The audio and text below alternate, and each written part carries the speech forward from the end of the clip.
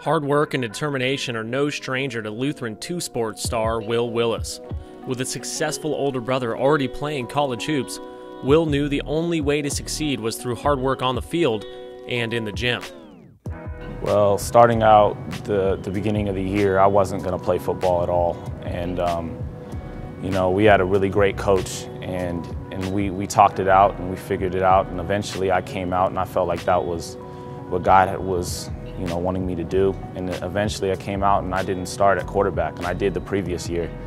And I got an opportunity in the end of the first game and man, God really came through. And from then on, the rest of the season just was so much fun. Will, I've never ever had to get on him as far as his intensity and how hard he works. And obviously, perseverance is one of the greatest words that I can use to describe Will because, in spite of all of the trials that he's had to go through to get where he's at, and obviously, as you'll see in his clips, that he is a great athlete. For Will, it was the strength component. You know, he always had a large frame. He was always really coordinated, talented that way, but he had not enough strength to motor his frame.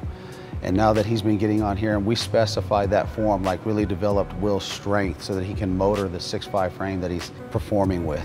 I work with Aaron usually in the springtime on the off season. And I mean, he, he works my behind off and it, it's huge. It, it really makes a big difference on the court and you can see it. I mean, with, you know, having your mind and your body on the same pace, that's, that's important when you're playing basketball or football. With family ties to Western State, with both Will's father playing in the past there and his older brother currently on the roster, his recent choice to join Western seemed like a natural one.